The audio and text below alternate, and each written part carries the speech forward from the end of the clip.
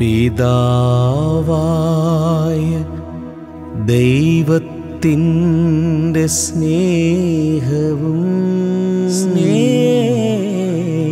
പുത്രനായ യേശുക്രിസ്തുവിന്റെ കൃപയും കൃപയും പരിശുദ്ധാത്മാവിന്റെ നിരന്തരമായ കൂട്ടായ്മയും കൂട്ടായ്മയും നമ്മോടും നാം പ്രാർത്ഥിച്ച വിഷയങ്ങളോടും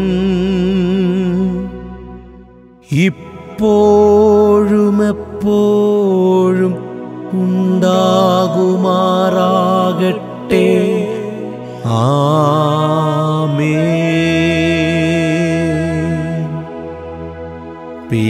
പിതാവായ ദൈവത്തിന്റെ സ്നേഹവും സ്നേഹവും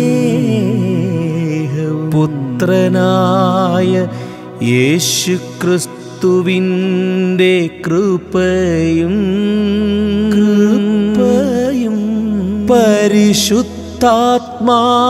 പരിശുദ്ധാത്മാവിന്റെ നിരന്തരമായ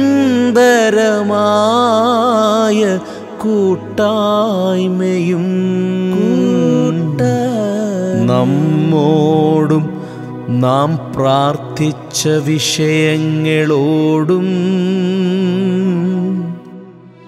ഇപ്പോഴും എപ്പോഴും